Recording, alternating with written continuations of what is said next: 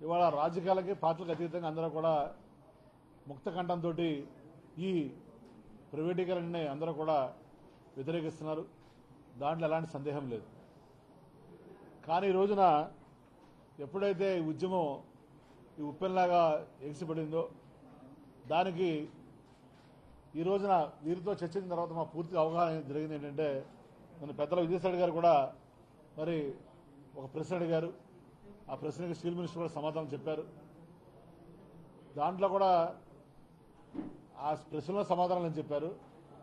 Steel minister గారు steel ప్లాంట్కి వచ్చినప్పుడు యూనియన్స్కి ఏం చెప్పారు అఫీషియల్స్కి ఏం చెప్పారు అనేది కూడా చాలా వేరియేషన్ ఉంది. నేను మొట్టమొదటి చెప్తానున్నాను. ఈ విశాఖ మీద ఒరిస్సా దాడి ఎప్పటి నుంచో ఉంది. అది ఒక రైల్వే జోన్ కావచ్చు ఒక పరిశ్రమలు కావచ్చు ఇంకోటి కావచ్చు ఇంకోటి కావచ్చు.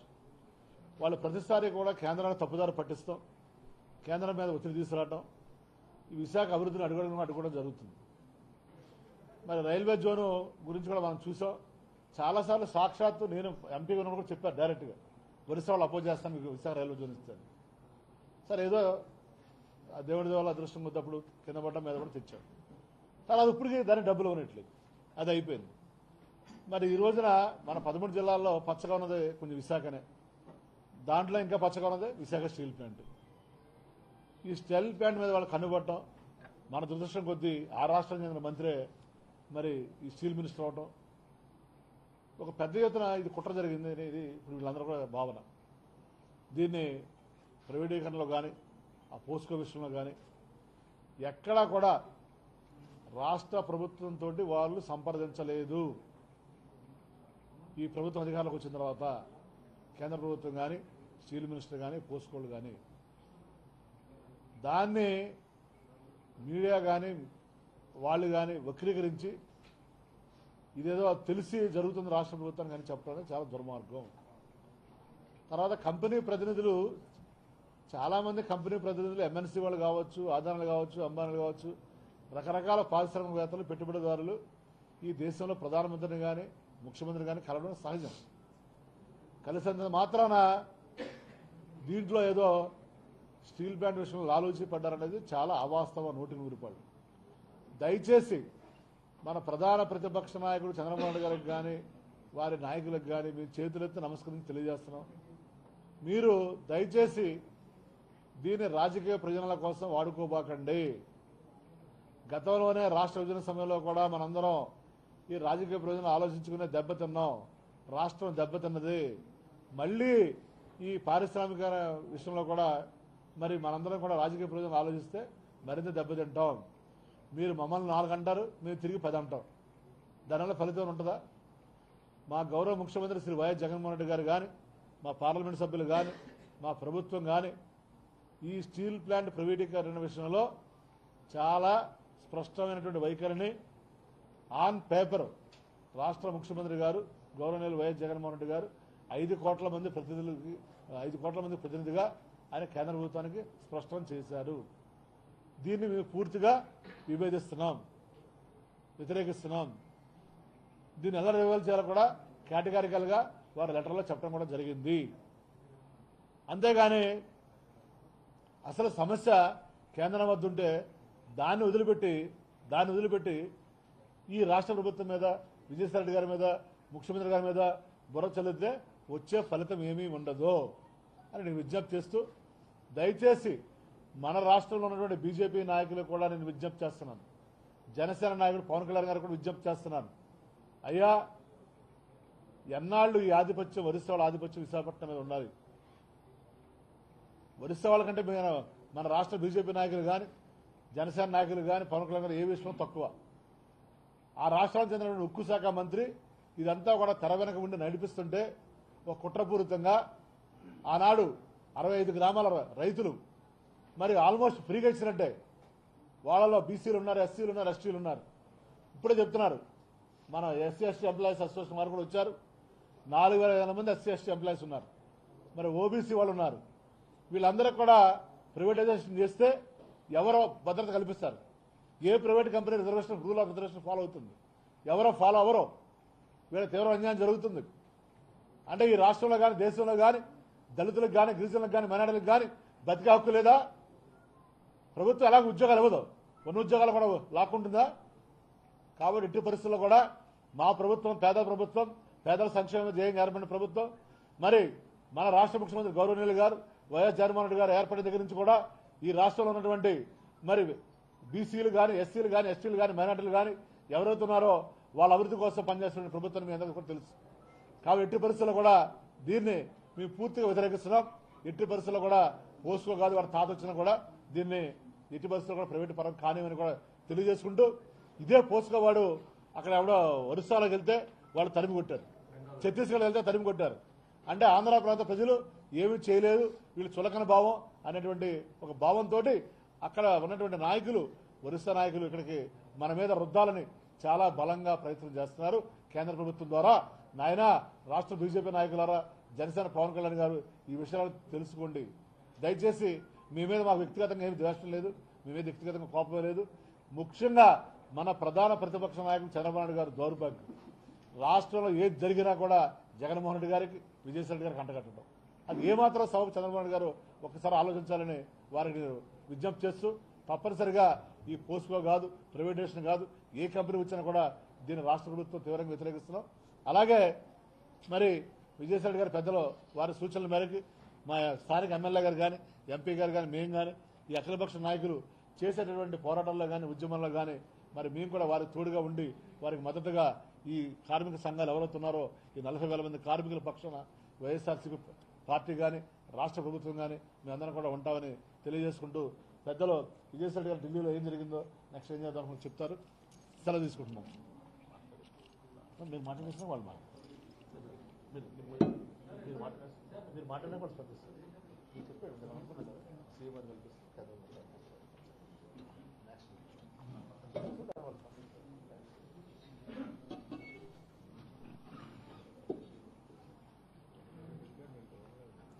పాత్రికేయ మిత్రులందరికీ హృదయపూర్వక నమస్కారం.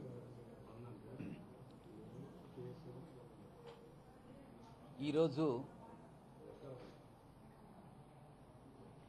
విశాఖపట్నం ఉక్కు కర్మాగారానికి సంబంధించి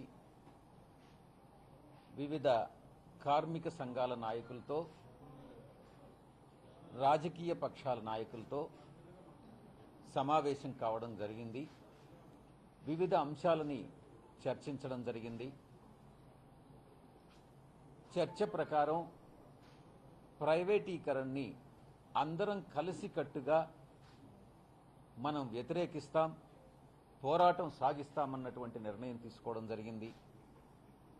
ఈ యొక్క పరిస్థితి ఈరోజు రావడానికి కారణాలు ఏంది అని విశ్లేషించుకుంటే చాలా విషయాలు బయటొచ్చాయి.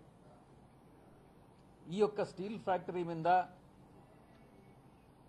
ఒరిస్సా నాయకులు కానీ అటు కేంద్ర ప్రభుత్వంలో కానీ అటు బ్యూరోక్రసీలో కానీ అధికారులు యొక్క పెత్తనం పూర్తిగా సాగుతుంది అన్నటువంటి విషయాన్ని చాలా స్పష్టంగా తెలియజేస్తా ఉంది.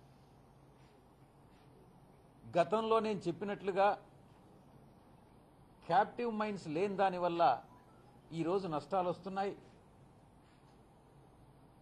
ప్రొడక్షన్ స్థిరీకరణ లేని దానివల్ల నష్టాలు వస్తున్నాయి ఈ యొక్క నష్టాలని అరికట్టాలని అంటే మనం క్యాప్టివ్ మైండ్స్ తీసుకోవాలి. ఏదైతే ఎక్స్పాన్షన్కి మనం రుణం తీసుకున్నామో ఆ రుణాన్ని ఈక్విటీ కింద కన్వర్ట్ చేసుకొని మన ఇంట్రెస్ట్ బర్డన్ని తగ్గించుకోవాలి.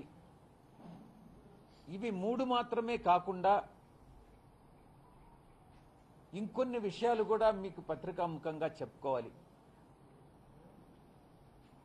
గతంలో ఈ యొక్క రాష్ట్రీయ ఇస్పాట్ నిగమ్ లిమిటెడ్ నుంచి అంటే విశాఖ ఉక్కు కర్మాగారం నుంచి రెండు వేల కోట్ల రూపాయలు రాయబరీలో ఉన్నటువంటి పెట్ట పెట్ట- పెడుతున్నటువంటి వీల్స్ ఫ్యాక్టరీ కోసంగా ఇక్కడ నిధులను అక్కడికి తరలించడం జరిగింది. మరొకటి ఒరిస్సా మైనింగ్ డెవలప్మెంట్ కార్పొరేషన్కి గవర్నమెంట్ సంస్థకి దగ్గర నుంచి మైన్స్ కోసంగా పది సంవత్సరాల క్రితం మూడు వందల అరవై ఒక్క కోట్ల రూపాయలు అంటే దాని పది సంవత్సరాల తర్వాత దాని విలువ ఎంతననేది మీరు ఆలోచించుకోండి. మైన్స్ రాలేదు ఆ పెట్టిన డబ్బు రాలేదు దాని మీద వడ్డీ రాలేదు. అది కాకుండా అది కాకుండా మన మీద అడిషనల్గా పెనాల్టీ వేసి ఇంకొక వెయ్యి కోట్ల రూపాయలను కూడా అంటే మనం మొత్తం పదమూడు వందల అరవై ఒక్క కోట్ల రూపాయలు ఒరిస్సా మైనింగ్ డెవలప్మెంట్ కార్పొరేషన్కి పెనాల్టీ ద్వారా కానీ లేకుంటే ఇన్ మైన్స్ కొనేదానికి కానీ మనం చేయడం జరిగింది. కానీ దానివల్ల ఒక్క పైసా కూడా మన ఫ్యాక్టరీకి ఆదాయం రాలేదు. ముడి సరుకు రాలేదు. మైన్స్ అలాట్ కాలేదు. ఇవి మాత్రమే కాకుండా మనం విశ్లేషించిన సమాచారం ప్రకారం గతంలో ఎండి కావాలనుకున్నటువంటి ఒక వ్యక్తి రెండవ స్థానంలో ఉన్నటువంటి ఒక వ్యక్తి టీకే చాందనని ఒక ఆఫీసరు కుంభకోణానికి పాల్పడి సంస్థకు రెండు వేల కోట్ల రూపాయల నష్టాన్ని కలిగిస్తే కేంద్ర ప్రభుత్వం కానీ స్టీల్ మినిస్ట్రీ కానీ రాష్ట్రీయ ఇస్పాట్ నిగమ్ లిమిటెడ్ కానీ ఆ తరువాత అతను పెట్టిన దాని అతని పైన పెట్టినటువంటి సిబిఐ కేసు కానీ ఏమైంది? ఈ రెండు వేల కోట్ల రూపాయల రికవరీ అయిందా? చివరికి చూస్తే స్టీల్ విశాఖ స్టీల్ ఫ్యాక్టరీ నష్టపోయిందే కానీ ఎవ్వరికీ కూడా చట్ట ప్రకారం ఎవ్వరికీ కూడా శిక్ష పడలే. ఇప్పుడే మీరు మీ దగ్గర ఇప్పుడు మనం విశ్లేషించిన దాని ప్రకారం రెండు వేల కోట్ల ఇన్వెస్ట్మెంట్ రాయబరిలో పెట్టింది రెండు వేల కోట్ల రూపాయల కుంభకోణం పదమూడు వందల అరవై ఒక్క కోట్ల రూపాయలు ఒరిస్సా మైనింగ్ డెవలప్మెంట్ కార్పొరేషన్కి ఇచ్చింది. అంటే ఇక్కడే ఇంచుమించుగా ఐదు వేల ఐదు వందల కోట్ల రూపాయల్ని ఈ యొక్క ఫ్యాక్టరీ నుంచి తరలించడం జరిగింది. ఒక సైడ్ మైన్స్ లేవు క్యాప్టివ్ మైన్స్ ఎక్స్పాన్షన్కి విపరీతంగా మనం బారో చేసుకున్నాం. ఇటువంటి కుంభకోణాల్లో నష్టపోయాం. ఈ రకంగా నష్టపోయిన తర్వాత అటు కేంద్ర ఉక్కు శాఖ ఉక్కు శాఖ మంత్రిత్వ శాఖ నుంచి ఎటువంటి సహకారం లేకుండా ఇక్కడ తీసుకునేటటువంటి నిర్ణయాలన్నీ కూడా ఎవరో కొంతమంది ఒరిస్సా వ్యక్తులు అటు మినిస్ట్రీలో కానీ ఇక్కడ ఫ్యాక్టరీలో కానీ అన్ని కీ పొజిషన్స్లో ఒరిస్సా వాళ్ళే ఈరోజు ఉండారని వాళ్ళే నిర్ణయాలన్నీ కూడా తీసుకుంటున్నారనని ఇక్కడ ఉన్నటువంటి స్థానికంగా ఉన్నటువంటి ఎవరికీ కూడా కీ పొజిషన్స్లో స్థానం లేదనని ఇలాంటి పరిస్థితుల్లో మనం ప్రైవేటీకరణని అపోజ్ అపోజ్ చేస్తా ఉన్నాం. మన హక్కులు ఏదైతే ఉన్నాయో కాల రాస్తున్నారో ఆ హక్కుల్ని పరిరక్షించుకునే దానికి మనం పోరాటం సాగిస్తా ఉన్నాం. ఈ యొక్క పోరాటంలో అందరం కలిసి ఐకమత్యంగా అటు కార్మిక సంఘాలు ఇటు రాజకీయ పక్షాలు అందరం కలిసి సమైక్యంగా పోరాడదామన్నటువంటి విషయాన్ని మేము చర్చించుకొని నిర్ణయించుకోవడం జరిగింది. కార్యాచరణని మేము ప్రకటిస్తాం సార్ ఇక్కడ ఇది ఓన్లీ చర్చలు ఉద్యమానికేనా ఈ డెలిగేషన్ ఏమైనా తీసుకెళ్ళి ఏమైనా ఏమన్నా ఉందా? ఈ సమావేశంలో ఇంకొక అంశం కూడా చర్చకు వచ్చింది సిపిఐలో పార్లమెంట్ సభ్యులున్నారు సిపిఎంలో పార్లమెంట్ సభ్యులున్నారు వైఎస్ఆర్ కాంగ్రెస్ పార్టీలో సభ్యులున్నారు ఆమ్ ఆద్మీ పార్టీలో పార్లమెంట్ సభ్యులున్నారు ఎల్జేపీ ఎల్జేపీలో పార్లమెంట్ సభ్యులున్నారు టీడీపీలో పార్లమెంట్ సభ్యులున్నారు వీళ్ళందరూ కూడా బిఎస్పి వీళ్ళు వీళ్ళందరూ కూడా సమైక్యంగా మాట్లాడి ప్రధానమంత్రి గారితో అపాయింట్మెంట్ తీసుకొని ఒక పార్లమెంటు ఎంపీల స- డెలిగేషన్ని వెళ్ళి ప్రైమ్ మినిస్టర్ గారికి మెమొరాండం సమర్పించి ఉన్నటువంటి సమస్యలన్నింటినీ కూడా ఎక్స్ప్లెయిన్ చేసి ఈ యొక్క ప్రైవేటీకరణ అన్నటువంటిది సాధ్యం కాదు. మేము ప్రతిఘటిస్తున్నాం అన్నటువంటి విషయాన్ని స్పష్టం చేయాలని నిర్ణయించుకోవడం జరిగింది. కార్మిక సంఘాలు వీలైతే ప్రైమ్ మినిస్టర్ గారు కానీ అపాయింట్మెంట్ కానీ ఇస్తే కార్మిక సంఘాల నాయకుల్ని కూడా తీసుకెళ్ళేదానికి మేము సిద్ధంగా ఉన్నాం. ప్రైమ్ మినిస్టర్ గారు ఇవ్వాలే కానీ అందరినీ తీసుకెళ్ళేదానికి మేము సిద్ధంగా ఉన్నాం. ఇప్పుడు రేపు మా పార్లమెంటరీ పార్టీ ఎంపీలందరూ కూడా హోమ్ మినిస్టర్ గారిని కలిసి రేపు అపాయింట్మెంట్ దొరికింది. హోమ్ మినిస్టర్ గారిని కలిసి మెమరాండం సబ్మిట్ చేయడం జరుగుతుంది. ప్రతి ఒక్కరం కూడా వారి వారి వంతు కృషి చేస్తామనని ప్రైవేటీకరణని వ్యతిరేకిస్తామనని అడ్డుకుంటామని ప్రతిఘటిస్తామనని మేమందరం కూడా నిర్ణయించుకున్నాం కార్యాచరణని రూపొందించుకుంటాం. అనుకున్నది సాధించుకుంటాం సార్ విశాఖ వికాస్ ప్రకారం గత నాలుగైదు సంవత్సరాలుగా కుంభకోణాలు మయంగా మారిపోయింది సార్ అందులో భాగంగా గతంలో ఉన్న విజిలెన్స్ అధికారులు రైడింగ్ చేశారు దర్యాప్తులు చేశారు సిబిఐ సిబిఐ అధికారులు రైడింగ్ చేశారు కొన్ని దర్యాప్తులు చేశారు కానీ ఏది ముందుకు అడుగు పడట్లేదు చర్యలు తీసుకోవడం అనేది జరగట్లేదు ఇప్పుడు అసలు ఆ ఫైల్స్ ఇప్పటికైనా వెలుగులోకి వచ్చే అవకాశం ఉందా ఎందువల్లంటే ఆ కుంభకోణాల కారణంగా ఎవరైతే అక్రమాలు చేస్తున్నారో ఆ అక్రమాలు చేస్తున్న వాళ్ళందరూ అదే పొజిషన్స్లో కొనసాగుతున్నారు అలాంటి వాళ్ళు కీలకమైన స్థానాల్లో ఉంటే అసలు స్టీల్ ప్లాంట్ ఎలా బాగుపడుతుంది సార్? అదే నేను చెప్పింది కూడా. ఈ వచ్చినటువంటి నష్టాలన్నీ ఈరోజు ఏదైతే నెగటివ్ నెట్వర్క్ ఏదైతే వచ్చిందో పాజిటివ్ పాజిటివ్ క్యాపిటల్ని ఈ యొక్క అంశాలు ఏదైతే మీరు చెప్పారో వాటిని సెట్ ఆఫ్ అయ్యి చాలా మీగర్ అమౌంట్ని మిగిల్చాయి మూలధనం కింద. అందుకే ఇటు పదమూడు వందల యాభై ఐదు కోట్లకి తగ్గిపోయింది. దాన్ని అడ్వాంటేజ్ కింద తీసుకొని ఈరోజు కొంతమంది పారిశ్రామికవేత్తలు ప్రైవేటు వ్యక్తులు ఈ యొక్క స్టీల్ ఫ్యాక్టరీని తీసుకోవాలనని దానివల్ల లబ్ధి పొందాలనని ప్రభుత్వంలో ఉన్నటువంటి కేంద్ర ప్రభుత్వంలో ఉన్నటువంటి కొందరు పెద్దలు వీళ్ళందరూ కూడా ఇది చేస్తున్నటువంటి కుట్ర ఆ కుట్రను మేము అపోజ్ చేస్తా ఉన్నాం. సెంట్రల్ గవర్నమెంట్ కానీ ఒకవేళ అమ్నేసి సిచ్యువేషన్ కానీ వస్తే స్టేట్ గవర్నమెంట్ తీసుకోవడానికి రెడీగా ఉందని కూడా తెలియజేస్తున్నారు.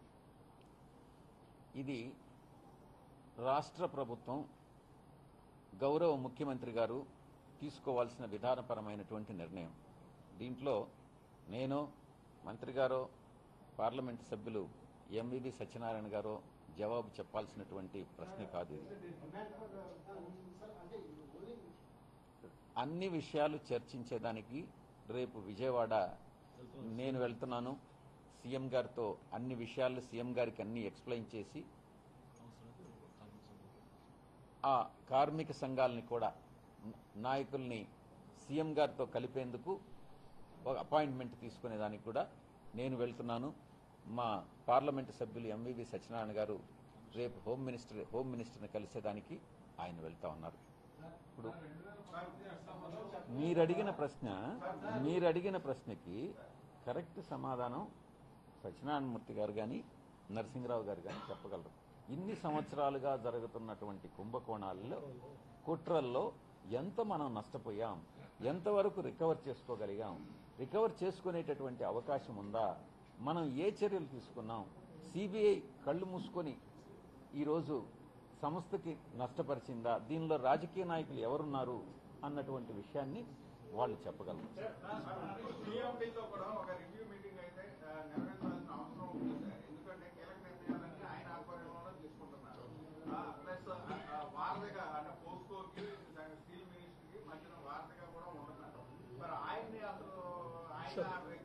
అభిప్రాయం ఏంటి? దీనికి సంబంధించి బ్యాక్గ్రౌండ్ ఏం జరుగుతుంది అనేది I- ఎవరికీ తెలియదు సీఎండీని కలవాలనా లేదా అన్నటువంటిది ఆలోచించి అయోధ్య గారిని మంత్రి రాజశేఖర్ గారు ఆదినారాయణ గారు మేము అందరం కూడా రాజకీయాల్లో ఉండేటటువంటి అందరం కూడా మాట్లాడి సీఎంగా సీఎండి దగ్గరికి వెళ్ళి ఈ సమస్యలన్నింటినీ దానివల్ల నిజంగా ప్రయోజనం ఉంటుందో లేదో నాకు తెలియదు సీఎండి దగ్గరికి వెళ్ళి అతన్ని ప్రశ్నించేటటువంటి పరిస్థితిని తీసుకొస్తాం. అది చర్చించిన తర్వాత దాని మీద నిర్ణయించాం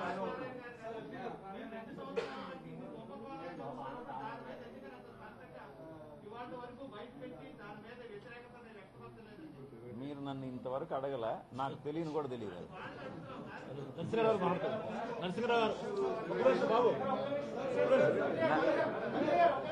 నరసింహరావు గారు మాట్లాడతారు. ఎవరైనా ఒక్కరు అడిగితే బాగుంటుంది.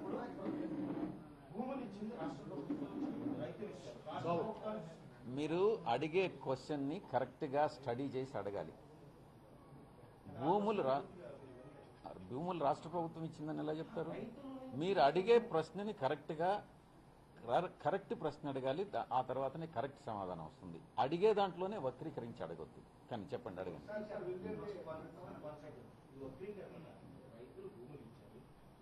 ఇప్పుడు కరెక్ట్గా వచ్చారు. రైతులు భూములు ఇచ్చారు. ఇప్పుడు ఇంతకు ముందు ఏమన్నారు మీరు? ఈ ఇంతకు ముందేమన్నారు రాష్ట్ర ప్రభుత్వం అన్నారు. మీరు అడిగేటటువంటి క్వశ్చన్ కరెక్ట్గా అడగండి సమాధానం నేను చెప్తా. నరసింహరావు గారు మాట్లాడతారు.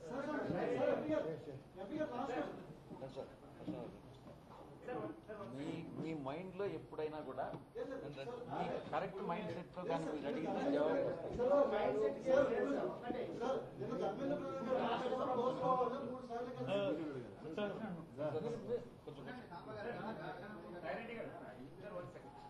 mentioned about the capital mines, sir. State government కైనా mines ఉంటే మన steel plant help చేయడానికి అవకాశం ఉందా లేదా where where are the mines available with the state government you tell me ఉన్నాయండి ఆల్రెడీ స్టీల్ ప్లాంటే మేనేజ్మెంట్ అప్లై చేసింది. ఒంగోలులో ప్రకాశం ప్రకాశంలో ఉంది. కుంజేడు కుంజేడు ఏరియాలో ప్రకాశం ఒంగోలు దగ్గరలో ఒంగోలు దగ్గరలో ఉన్నాయి. అది అప్లై చేశారు management mines are available with the state government we will talk to honourable CM and find out the solution in case if mines are not available with the state government it is the responsibility of the to provide the mines to uh, to allocate the mines to the uh, Visakhapatnam steel plant. So efforts will be made from the state government. Also. Efforts will be made to to get the mines both from the central government as well as from the state government. So object, the objective of the objective of everybody here is to protect the organization, to save the organization from privatization.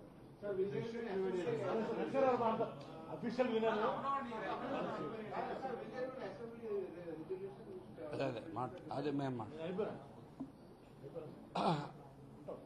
Steel plant ఈరోజు విశాఖ ఉక్కు పరిరక్షణ కమిటీని ఆహ్వానించడం జరిగింది. మన MP గారు విజయసాయిరెడ్డి గారు రాష్ట్రంలో ఉన్నటువంటి అత్యధిక మంది పార్లమెంట్ సభ్యుల గ్రూప్ లీడర్గా ఉన్నారు. వారు కమిటీతో చర్చించడం జరిగింది. మేము ఈ సందర్భంగా ఈ సమస్యకి పరిష్కారం ఎలా చేస్తారనేటువంటిది వారితో చర్చించాం. వారు ప్రధానమంత్రిని కలవడానికి ఈరోజు మామూలుగా యూనియన్ల ద్వారా అంటే సాధ్యం కావడం లేదు. అందుకని ముందు ఎంపీల ద్వారా అన్ని పార్టీల ఎంపీల ద్వారా మా పార్టీ కాకుండా మిగిలినటువంటి పార్టీలని కూడా కలుపుకొని ప్రధానమంత్రిని త్వరగా కలుస్తామని చెప్పేసి మొట్టమొదటి చెప్పారు. రెండో విషయం ముఖ్యమంత్రితో అపాయింట్మెంట్ ట్రేడ్ యూనియన్ నాయకులతో ముఖ్యమంత్రితో గారితో త్వరలో అపాయింట్మెంట్ ఫిక్స్ చేస్తా అన్నారు.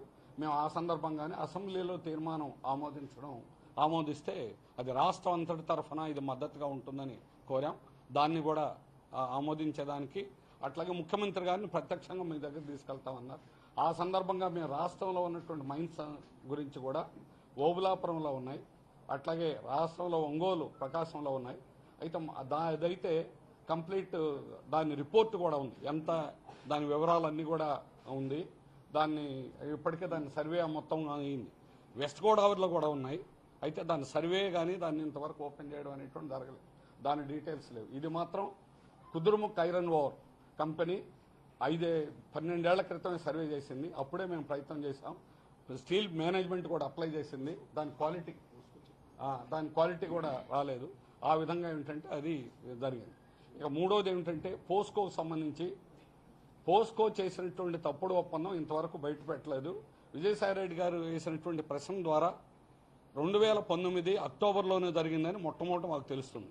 కానీ మంత్రి గారు మంత్రి గారు స్వయంగా మా మా దగ్గరకు వచ్చి మాట్లాడడం కూడా జరిగింది. అప్పుడు మేము ఇంకా ఆయన ఎటువంటి ఒప్పందం చేయనట్టు పచ్చి అబద్దాలు ఆడడం అనేటువంటి జరిగింది. అందుకనే మేము స్టీల్ మంత్రిని మాత్రం కలవడానికి ఎవరు కూడా యూనియన్లు మేము అంగీకారం అనేటువంటి కాదని చెప్పేసి మేము తెలియజేశాం. ఇప్పుడు కూడా అందుకని ఆ ఎంఓఈ కూడా ఏమిటనేది ఇంతవరకు వారు బయట పెట్టలేదు. దాన్ని కూడా బయట పెట్టాలని చెప్పేసి కూడా డిమాండ్ చేస్తాం. అయితే దీని సొల్యూషన్స్ ఏమిటని చెప్పేసి వారు అడిగారు. ఆ సొల్యూషన్ ఈ రోజు ఈ సమస్యకి ప్రధానమైనటువంటి సొల్యూషన్ స్టీల్ ప్లాంట్ని నూటికి నూరు శాతం అంతకుముందు పోస్కోతోటి జాయింట్ వెంచర్ అనేది వారి ప్రతిపాదన. ఆ జాయింట్ వెంచర్ కూడా బయట ఏదో స్థలం ఇస్తే ముందు నాలుగు వేల ఎకరాలు అడిగారు. పోస్కో ల్యాండ్ అని దాన్ని మార్క్ చేశారు. లేదు లోపల కాదు బయట అయినా పర్లేదు అన్నారు పదిహేడు వందల ఎకరా పదిహేడు వందల ఎకరాలు బాల్చేరు వైపును ఇవ్వడానికి ఇప్పుడు ఎంఓయూ జరిగిందని మాకు బయట తెలియడం. ఎగ్జాక్ట్గా ఏమిటనేటువంటిది కాదు కానీ అది జాయింట్ వెంచర్ సంబంధించి వాళ్ళు ఇన్వెస్ట్మెంట్ పెడతారని. ఇప్పుడు ఏకంగానే మొత్తం స్టీల్ ప్లాంట్ని స్ట్రాటజిక్ పార్ట్నర్ వ్యూహాత్మక భాగస్వామిగా యాభై ఒక్క శాతం పైనుంచి వంద శాతం వరకు అమ్మడానికి కేంద్ర ప్రభుత్వం నిర్ణయించినట్టుగా ఇరవై ఏడు జనవరిన కేబినెట్ తీర్మానం ప్రకారం మనకు అర్థమవుతుంది. కాబట్టి అవుట్ సైడ్ సేల్ అనేటువంటి విశాఖపట్నం స్టీల్ ప్లాంట్ చేయడం అనేది అతి దుర్మార్గమైంది. దాంతో రాష్ట్ర ప్రభుత్వం కూడా మాతో ఏకీపిస్తున్నందుకు వారికి ధన్యవాదాలు తెలియజేస్తున్నాం. రాష్ట్ర ప్రభుత్వం దీని మీద సంపూర్ణంగా సహకరిస్తామని వారు మాకు హామీ ఇవ్వడం అనేటువంటి జరిగింది. అయితే దీన్ని రాష్ట్రంలో ఉన్నటువంటి మైన్ సంబంధించి ఇచ్చేదానికి అట్లాగే మిగిలిన ఏ రకంగా రాష్ట్ర ప్రభుత్వం చేసేటువంటి దీన్ని ముఖ్యమంత్రి గారితో కూడా మేము వారు మా ప్రతినిధి వర్గంతో మాట్లాడి దాన్ని పరిష్కారం చేస్తే దానికి ఆ రకంగా మేము ప్రయత్నం చేస్తాం. పరిష్కారం ఏమిటనేటువంటిది సెయిల్తో మెర్జి చేయడం అనేటువంటి ఒక పరిష్కారం. స్టీల్ అథారిటీకి వాళ్ళకి మైన్స్ ఉన్నాయి. మాకు మేజర్ ప్రాబ్లం ఒకే ఒక ప్రాబ్లం. మిగిలినవన్నీ తొంభై మాట్లాడుకోవచ్చు. అవన్నీ అవన్నీ ఇప్పుడు ప్రధానం కాదు. ప్రధానమైనటువంటిది ఈ రోజు మా ముందున్నటువంటిది స్టీల్ ప్లాంట్కి క్యాప్టివ్ మైన్స్ అనేటువంటిది కావాలి. క్యాప్టివ్ మైన్స్ ఒక్కటే. ఎందుకంటే సంవత్సరానికి రెండు వేల పద్దెనిమిది పంతొమ్మిది ఒక్క సంవత్సరమే. రెండు వేల రెండు కోట్ల రూపాయలు దీనివల్ల మనం అదనంగా పే చేశాం. ప్రతి టన్నుకి ఈరోజు ఆరు వేల నుంచి ఐదున్నర వేల నుంచి ఆరు వేలు అదనంగా పే- ఖర్చు చేస్తున్నాం. ఇంకా రాబోయే కాలంలో ఇంకా పెరుగుతుంది. ఎందుకంటే ట్రేడింగ్ ఎప్పుడైతే ప్రభుత్వం ఆక్షనింగ్ సిస్టమ్ అనేది పెట్టారో ఈరోజు విపరీతంగా అంతకుముందు ఇట్లా ఇంత తేడా ఉండేది కాదు.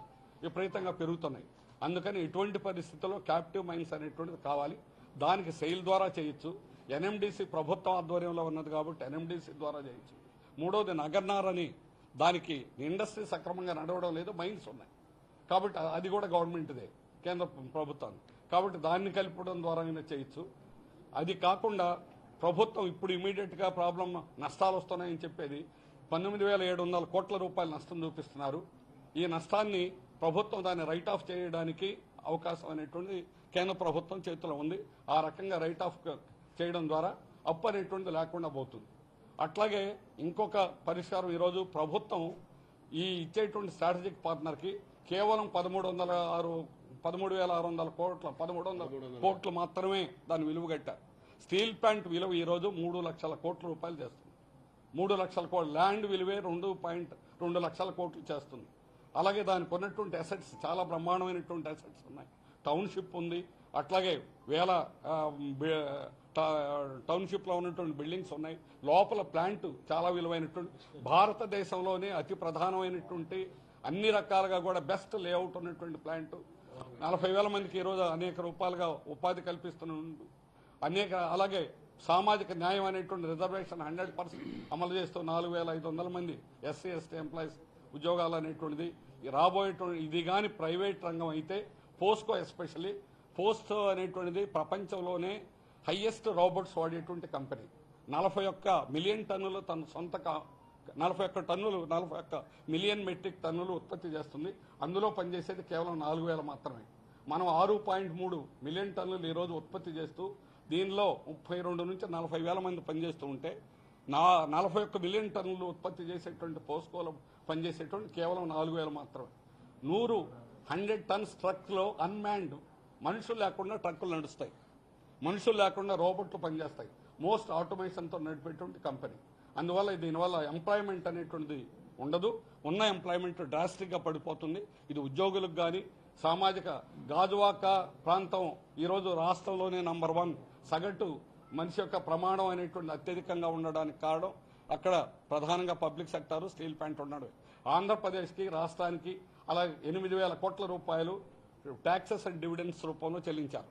మొత్తం కేంద్ర ప్రభుత్వానికి నలభై వేల ఎనిమిది వందల కోట్ల రూపాయలు ఇప్పటికి మనం పన్నులు డివిడెండ్స్ రూపంలో చెల్లించాం.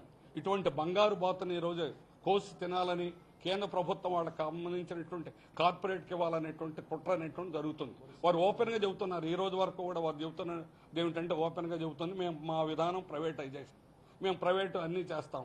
ఇది కూడా చేస్తామనేటువంటి పద్ధతిలో బీజేపీ చేస్తున్న చెబుతుంది.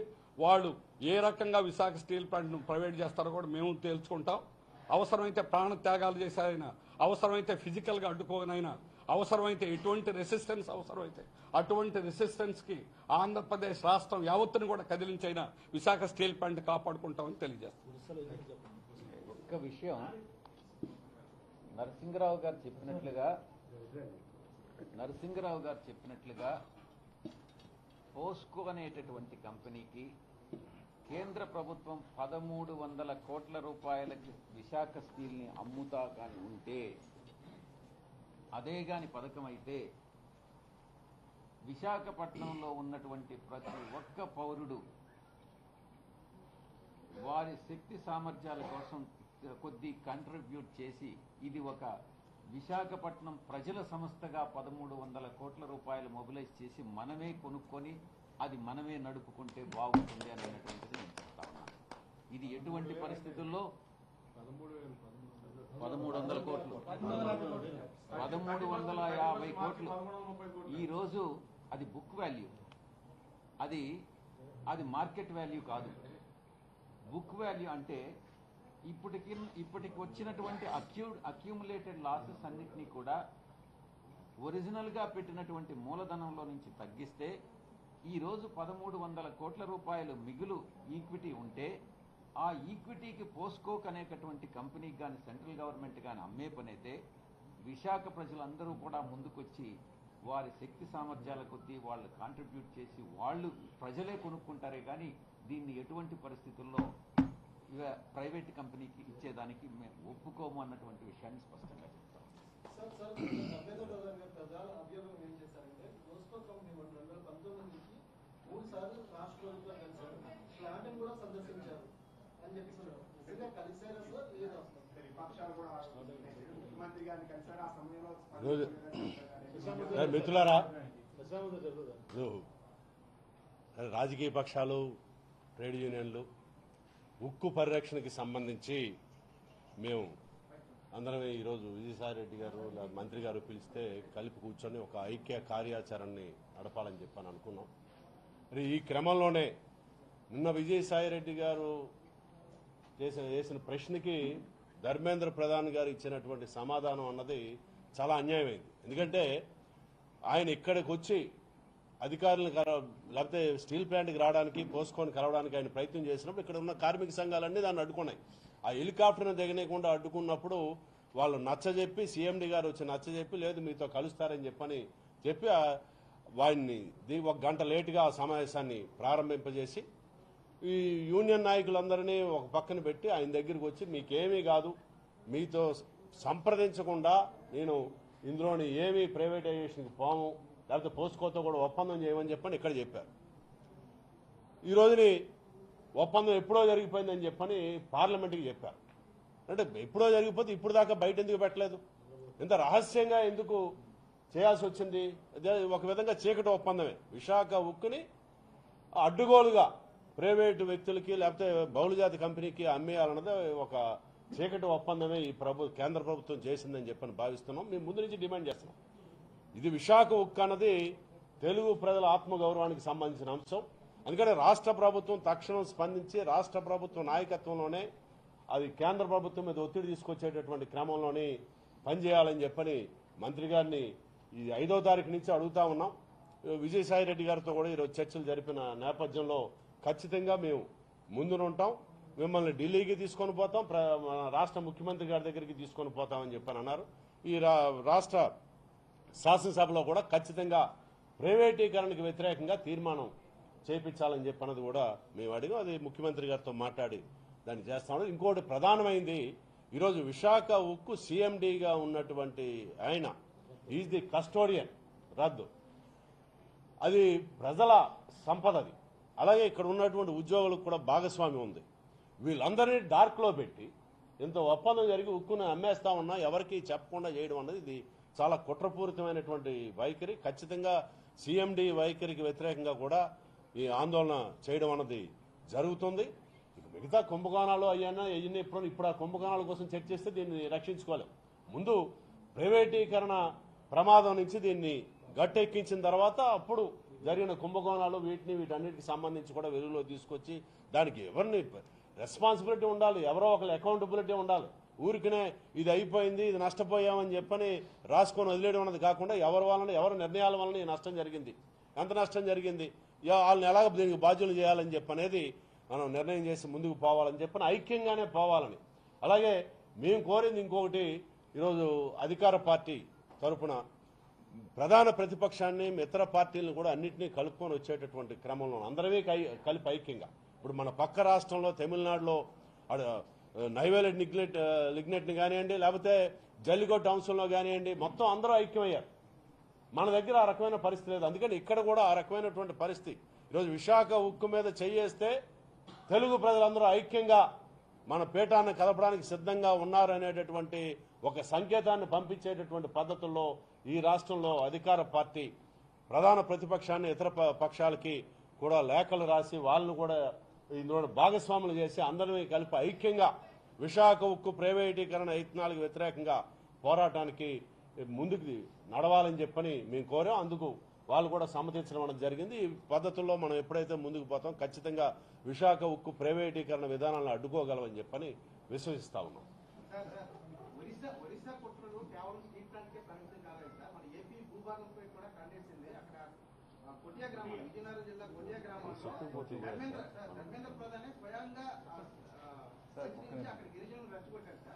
దుమ్మిరిగూడ మండలంలో కూడా చుట్టుకొస్తుంది సార్. సార్ తనే పోలీస్తా అంటే గత ప్రభుత్వం నుంచి కూడా ఉదాసీనంగా వ్యవహరిస్తుంది దాన్ని ఏ విధంగా సరే సరే. సరే ముందుగా ప్రింట్ అండ్ ఎలక్ట్రానిక్ మీడియా ధన్యవాదాలు.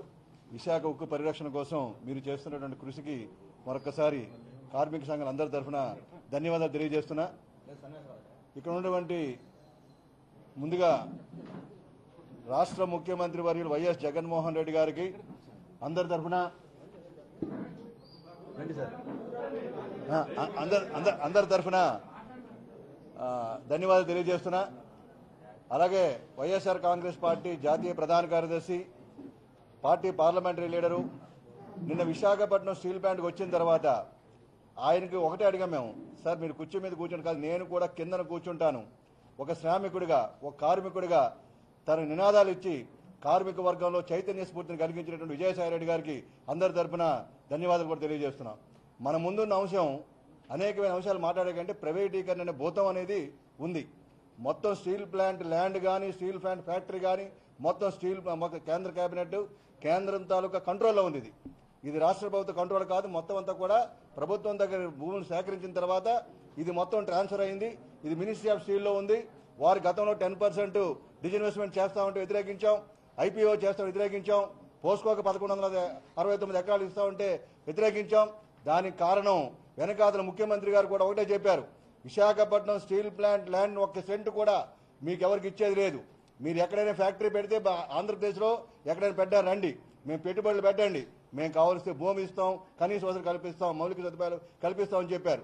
ఏనాడు విశాఖపట్నం స్టీల్ ప్లాంట్ ల్యాండ్ని ఇవ్వాలని చెప్పి చెప్పలేదు. అంతేకాకుండా ఆయన ఒకటే మాట చెప్పారు. విశాఖపట్నం స్టీల్ ప్లాంట్లో ఉన్నటువంటి స్కిల్డ్ మ్యాన్ పవర్ ఉంది. ఎన్లైటెడ్ ఇంజనీర్స్ ఉన్నారు. వారు చేసే కెపాసిటీ ఉంది. ఎక్స్పాన్షన్లో ఒక పైసా కూడా కేంద్ర ప్రభుత్వం సాయం చేయలేదు. తనంతట తానుగా ఏడు వేల కోట్ల రూపాయల రిజర్వ్ ఫండ్స్ కానీ లేదా మిగతా బారోయింగ్ ఎక్కడైతే అప్పులు తీసుకొచ్చి మొత్తం పెట్టడం జరిగింది. ఇది జాతి సంపద జాతి సొత్తు ఇటువంటి ఫ్యాక్టరీకి విఘాతం చేస్తే మంచిది కాదని చెప్పడమే కాకుండా ఈరోజు అందరి తరఫున ఒక ప్రత్యేకమైనటువంటి లెటర్ రాసి ప్రధానమంత్రి గారికి ఆంధ్రప్రదేశ్ ఐదు కోట్ల ప్రజానిక ఆకాంక్షని ప్రతిబింబించి ఈరోజు ఉద్యమానికి ఊతం ముఖ్యమంత్రి గారికి ధన్యవాదాలు చెప్పే కార్యక్రమంలో ఆయన అనేక రకాల ప్రత్యామ్నాయాలు చేశారు. రాజశేఖర రెడ్డి గారు ముఖ్యమంత్రి ఉన్నప్పుడు యాభై శాతం నిర్వాసిత ఉద్యోగాలు తీసుకురావడం జరిగింది. ఎన్ఎండీసీని విశాఖపట్నం స్టీల్ ప్లాంట్ కలపాలని చెప్పారు. ఆ రోజు కాంగ్రెస్ పార్టీ ప్రభుత్వం కానీ ఈరోజు ఎన్డీఏ ప్రభుత్వం కానీ ఆంధ్రప్రదేశ్ ఆత్మగౌరవాన్ని దెబ్బకొట్టే విధంగా ప్రయత్నం చేస్తుంది.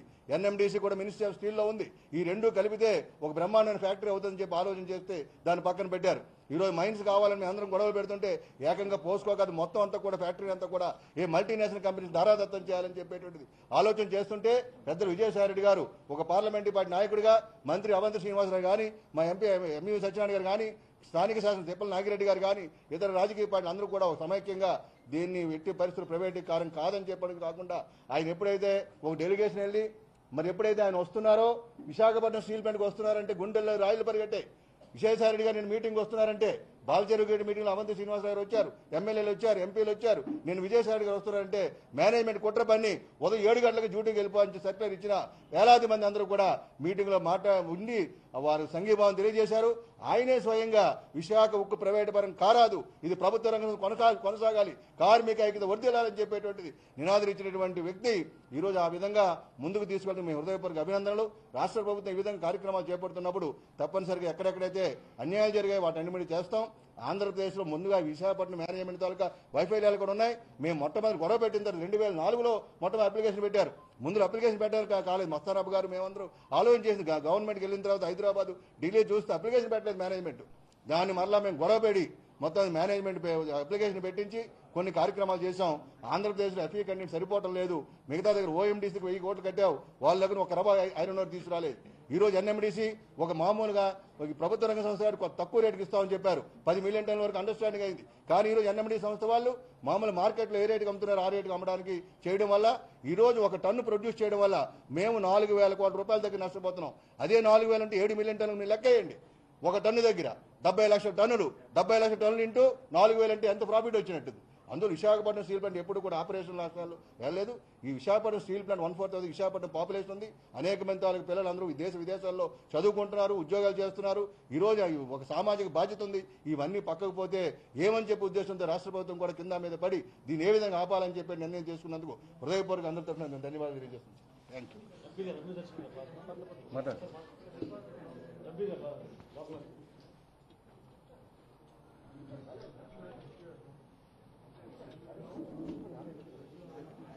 మీడియా మిత్రులందరికీ నమస్కారం.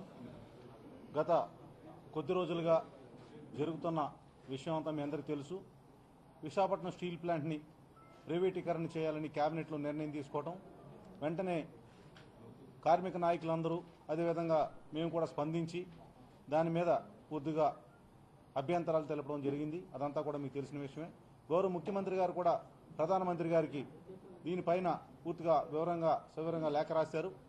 మన విజయసాయిరెడ్డి గారు కూడా రాజ్యసభ సభ్యులు వచ్చి మొన్న స్టీల్ ప్లాంట్ గేట్ దగ్గర కూడా పూర్తిగా దాని మీద ఏ విధంగా మనం స్పందించారనేది మనందరికీ తెలుసు. అదేవిధంగా ఆ రోజు ఎక్కడైతే స్టీల్ ప్లాంట్ నుంచి మున్సిపల్ కార్పొరేషన్ గాంధీ విగ్రహం వరకు ఆ రోజు ర్యాలీ వచ్చిందో ఆ రోజు కూడా నేను అనకాపల్లి ఎంపీ గారు కూడా పూర్తిగా వీరందరికీ నేను కలిసి మేము కూడా రాజీనామా వరకు వెళ్తాం చేస్తామని చెప్పి చెప్పడం జరిగింది. పూర్తిగా మా పార్టీ విధానం ఒకటే. విశాఖపట్నం స్టీల్ ప్లాంట్ ఎట్టి పరిస్థితుల్లో ప్రైవేటీకరణ కాకూడదు. అది ప్రభుత్వ రంగ సంస్థగా ఉండాలి. అవసరమైతే సొంత గనులు కేటాయించండి. ఏదైతే ఇరవై మూడు వేల కోట్ల రూపాయలు రుణం ఉందో దాన్ని దీర్ఘకాలిక రుణం రుణంగా మార్చి ఇంట్రెస్ట్ రేట్ తగ్గించండి అని చెప్పి స్ఫూర్తిగా తెలియజేస్తూ ఉన్నాం. దానికి ప్రత్యామ్నాయాలు రకరకాలుగా మన గౌరవ ముఖ్యమంత్రి గారు సూచించున్నారు. ఈ రోజు రాత్రి నేను ఢిల్లీ వెళ్తున్నాను. రేపు హోంమంత్రి అమిత్ షా గారితో అపాయింట్మెంట్ మా ఎంపీలందరం కూడా తీసుకున్నాం. అదేవిధంగా మన గౌరవ సాయిరెడ్డి గారు ఈరోజు రేపు మూడు గంటలకు వెళ్ళి ముఖ్యమంత్రి గారితో సవివరంగా ఇవన్నీ కూడా వివరించి మన ఇక్కడ నాయకులందరితో కూడా అపాయింట్మెంట్ పెట్టి అవసరమైన వేరిని కూడా తీసుకెళ్ళే కార్యక్రమం ఉంది. ప్రధానమంత్రి గారితో కూడా అందరూ కూడా ఇక్కడ కార్మిక నాయకులందరినీ కూడా తీసుకెళ్ళి కల్పించాలనే కార్యక్రమం కూడా చేస్తూ ఉన్నాం. అందరూ ఎంపీ గారు కూడా ఎంపీలు కూడా ప్రధానమంత్రి గారితో కలిసి వివరంగా ఇదంతా కూడా మన స్టీల్ ప్లాంట్ ఏదైతే ఉందో అదంతా కూడా వివరంగా తెలియచేయాలని మనం దృష్టితో ఉన్నాం. పూర్తిగా పార్లమెంట్లో కానీ బయట కానీ అసెంబ్లీలో కానీ రాష్ట్ర ప్రభుత్వం తరపున కానీ పూర్తిగా విశాఖపట్నం స్టీల్ ప్లాంట్ ప్రైవేటీకరణ అవ్వకుండా మన ప్రభుత్వ పర- రంగ సంస్థగా ఉండాలని కూడా నిర్ణయం తీసుకుని దానిపై పోరాడతామని తెలియజేస్తూ నేను సెలవు తీసుకున్నాను విశాఖ స్టీ- స్టీల్ ప్లాంట్ ప్రైవేట్ పరం. విశాఖ ఉక్కు ప్రైవేట్ పరం. విశాఖ ఉక్కు. విశాఖ ఉక్కు. విశాఖ ఉక్కు. చేతి చేతి పెట్టండి అన్న మినిస్ గారు. మినిస్ గారు మరి చేతి పెట్టండి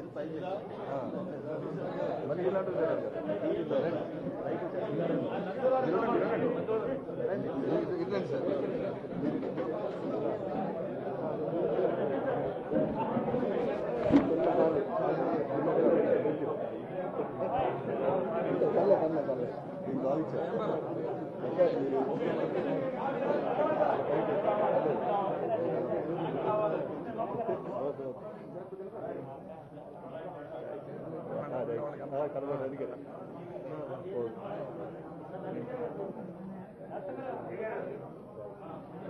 కనబడాలి విశాఖ ఉక్కు విశాఖ ఉక్కు విశాఖ ఉక్కును ప్రైవేట్ పరం కానివ్వం. విశాఖ ఉక్కును ప్రైవేట్ పరం కానివ్వం. సొంత ఏంటండి? వీడియో నచ్చిందా? అయితే ఓ లైక్ వేసుకోండి. లేదంటే ఓ కామెంట్ చేయండి.